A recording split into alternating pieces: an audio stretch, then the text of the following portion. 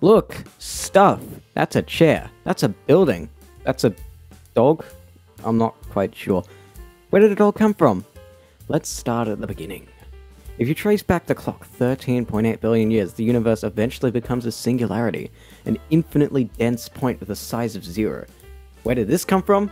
Nobody knows. That's not the point. Don't be a philosopher, be a physicist. At some point, this singularity decides that it wants to be something bigger. Literally, it suddenly expands and now there's stuff in it. What stuff? Uh, this stuff. They're like little pieces of Lego, unbreakable building blocks, and they can interact through four fundamental forces, but right now it's too hot, so currently they're just one fundamental force the United Force.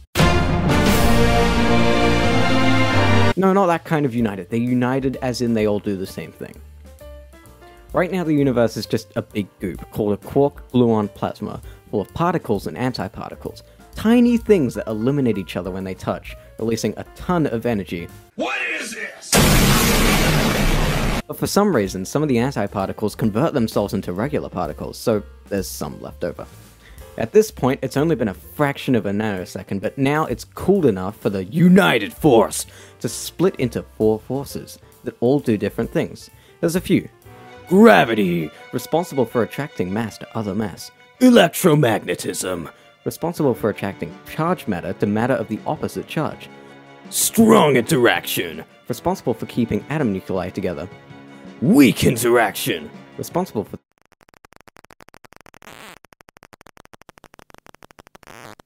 The universe is around the size of a football at this point. Why not get bigger? So it did. And now it's several times bigger than the solar system. All in less than a second. Hang on, doesn't this break the laws of physics? Oh, no, it's fine, carry on. So now the goop is slightly less hot, and the quarks and gluons that make up the goop are starting to bind together into protons and neutrons. Ah, finally, some normal sounding particle physics. So the universe is no longer a quark gluon plasma, but it's still way too hot for anything to happen. But if you read the baking instructions, you'll know that you have to let the protons and neutrons cool for two minutes before they're ready to eat. They're ready. Now the protons and neutrons are biting into deuterium nuclei, which quickly decays into helium nuclei, which, fun fact, is technically a form of high energy ionizing radiation. So, on the livability front, not only would you be melted beyond recognition, but you'd also be bombarded with 10 to the 50 tons of alpha radiation. So, unless you want to become a plasma, best not to consider the early universe as a hot tourist destination. There's also these things called electrons that want to start hanging around the nuclei. They cause electricity and create stable atoms, but they still can't join because it's too hot. And now the universe turns off the oven. No more cooking today or at least for the next 20 minutes. It's only been a fifth of a school period, but in that time, all the fundamental laws of the universe have been established, and the particles have begun building themselves into a giant Lego set. But for anything else to happen, we have to wait a bit longer, roughly 18,000 years, before we can begin to see electrons joining into those helium nuclei, creating, finally, an atom! And after around 100,000 years, we can start to see some basic molecules, which are essential for life. So now the universe isn't made of high energy ionizing radiation, but it is still very hot. After around 370,000 years, electrons can finally begin to join free protons, creating hydrogen atoms. Now there's something you gotta understand about the universe before this. It was completely opaque. You couldn't see through it, and it was like a huge pile of cosmic glue. Well, after the hydrogen atoms are formed, photons can finally pass through most of the universe, meaning that the general space becomes transparent and you can see through it. The initial release of photons created a cool little map of light that shows the densities of the different parts of the universe, which now influences the cosmic web. Because of the expansion of the universe, this blanket of photons can still be seen today, but no longer with visible light. Rather, it's become an American household appliance. So we call it the CMB, Cosmic Microwave Background. And now we enter the Dark Ages. This was a point where barely any light was emitted in the universe for around 200,000 years. It would have just been a relatively hot cloud of light elements, much like the Australian outback. After 200,000 or so years, some of those clouds of dust had condensed together so tightly that they create a pocket of space where hydrogen is fused into helium, a complex environment which releases a lot of energy, I call this the hydrogen pressure chamber fusion photosphere, also known as a star. And because of the lack of heavy elements, these stars would have been massive. I'm talking several times more massive than the largest stars today. And these huge stars would have collected into the first primordial galaxies, which look really weird. As stars evolve, they start producing heavy elements like oxygen, carbon, lithium, neon, bloody. Oh, good sons. No, I'm just kidding. And of course, iron. What? Oh, wait, that makes the star collapse in a cataclysmic explosion because iron cannot be fused. Well, now there's a big cloud called a nebula where new stars can form again in a positive feedback loop. Stars are created, explode, and form new stars, which themselves explode, and the cycle repeats itself indefinitely, creating exotic elements like gold, uranium, platinum, silver, and many more. Now there's a table for all of them. And stars have lots of leftover debris that orbit them because they do not need that much. These little bits collect into celestial bodies, known as planets, and in one such system there is a planet forming called Earth with high quantities of water and carbon, where complex chemistry will soon emerge. Phew, oh, we've reached the present. That was a lot. There's a common thought experiment where you put all the events in the universe into a single year, and if that was so, humans would have only emerged around 8 seconds ago. The dinosaurs would have died out only around 2 minutes ago.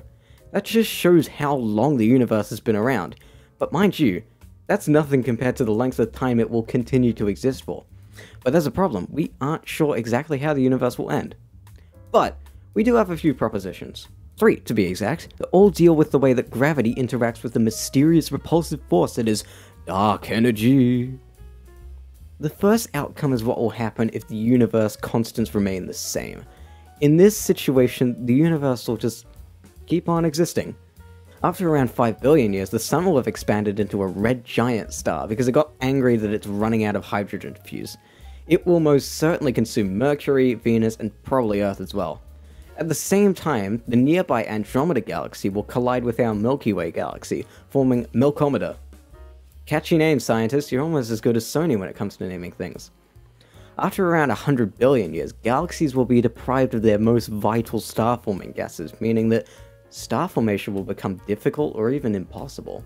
And so, after around a trillion years or so, all the stars in the universe will become husks of their former selves. Only three things will remain White dwarfs, these are the remains of red giants that have lost their outer layers. They're essentially just star cores that could stay warm for hundreds of trillions of years. Neutron stars, these are the remains of really big stars that went supernova. Some of them rotate at 65% the speed of light. They're extremely magnetic and extremely destructive. Black holes, illusions of space, time, and density. They're points in space where a singularity exists, and the black part of a black hole is actually just the point where light cannot escape from the singularity's gravity. And even these will fade given time. We aren't sure what happens to neutron stars, probably something absolutely horrifying beyond comprehension, but whatever. They have to decay at some point due to thermodynamics. As for white dwarfs, they will eventually cool down and become black dwarfs, they have almost no temperature and a very high density, and at some point very very far in the future they might explode or something, we aren't really sure. Black holes, however, we are sure how they'll end, all thanks to Stephen Hawking. Essentially, the universe is full of tiny little particles, creating and eliminating each other. But if this happens around a black hole, one particle could be sucked into the black hole, leaving the other without a partner to eliminate itself. So it escapes into the universe as radiation from the black hole.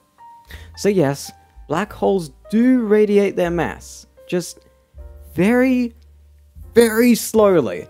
It could take 10 to the 106 years for a supermassive black hole to decay via Hawking radiation, but after that, that's it.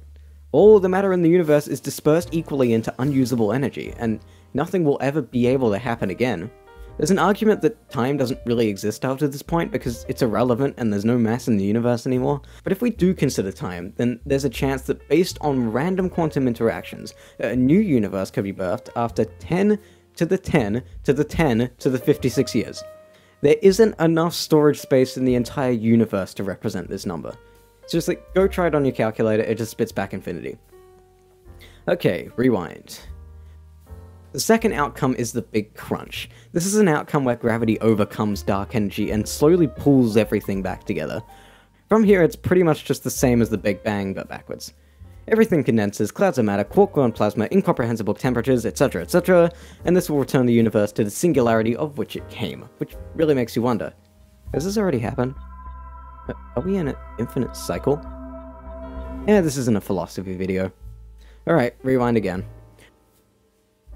The third outcome is in my opinion the most interesting, the Big Rip, where dark energy overpowers gravity and rips everything apart, down to the very finest of particles. First the cosmic web would be torn apart, then the galaxies, then the solar systems, then the planets, then the atoms. Okay, it's pretty much just shredding. The interesting part happens when we reach quarks. Quarks are joined by gluons, which makes it really incredibly hard to separate the quarks. This is how they make protons and neutrons. But as the power of dark energy approaches infinity, the quarks do get ripped apart, releasing an extraordinary amount of energy. What is this? But then after that, no interactions between particles will ever be able to happen again. And so, that's our entire model of cosmology. Keep in mind that our current model of physics probably isn't entirely correct, and we do actually have other theories on the rise, such as. Oh, wait, no, we talk, we let her talk about quantum physics, no! The problem with our current model of particle physics is that we can't find a way to merge Einstein's theory of relativity with quantum mechanics. Both models work to describe the universe's behavior, but only on certain scales. Quantum mechanics only works on objects as small as an atom, and relativity only works on a larger scale. Not to mention, the presence of dark energy in quantum physics would disrupt the structure of some elements. So to solve this issue, a few physicists have come up with new models to describe both scales of reality. The first is loop quantum gravity, LQG, which merges the two models by developing quantum mechanics entirely from the ground up specifically using relativity in conjunction with the standard model. Since it uses relativity, a model which is proven and has been used in recent years to find the Higgs boson, this model could be a suitable replacement for current quantum mechanics, although it still needs some development. The second model is string theory, which operates under the more radical proposition that all physical matter is actually made up of one-dimensional strings that vibrate to produce a particle. Fundamentally, we cannot prove this theory since these strings would be too small as to interact with any sort of force in the known universe. But the mathematical side of string theory has been unutterably reliable and serves as a damning piece of evidence towards the existence of it. However, string theory complicates the fabric of reality, as it would need 11 dimensions to actually work. We only know of three-dimensional objects in our universe, excluding the particles of the standard model which are usually considered to be two-dimensional. Overall, we should accept that our current model is flawed and continue developing revisions.